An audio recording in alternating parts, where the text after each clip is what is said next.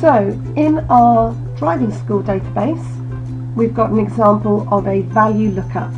So if I open up the instructor table and go into design view, if you remember, we used a value lookup in the title field.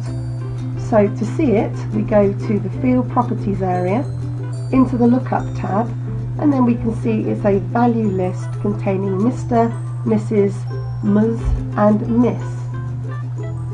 In datasheet view, this means that when we go to add a new instructor, we have a drop-down list which enables us to uh, select only one of those values from the list, Mr, Mrs, Ms or Miss.